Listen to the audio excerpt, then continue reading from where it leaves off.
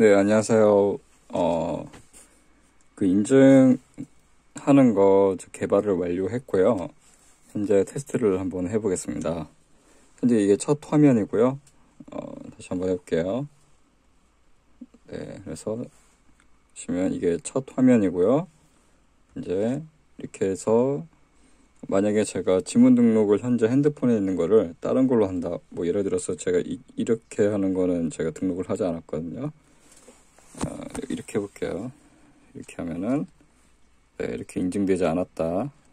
이러, 이거는 제가 지, 지문 등록을 하지 않았기 때문에 또 다시 한번 시도해 볼게요.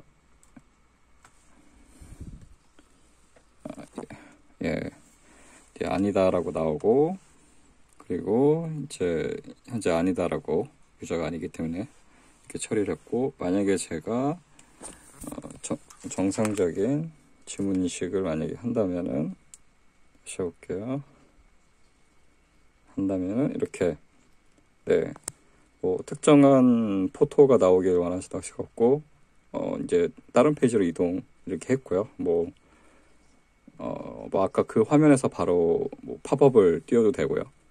네, 이런 식으로 개발을 완료했습니다.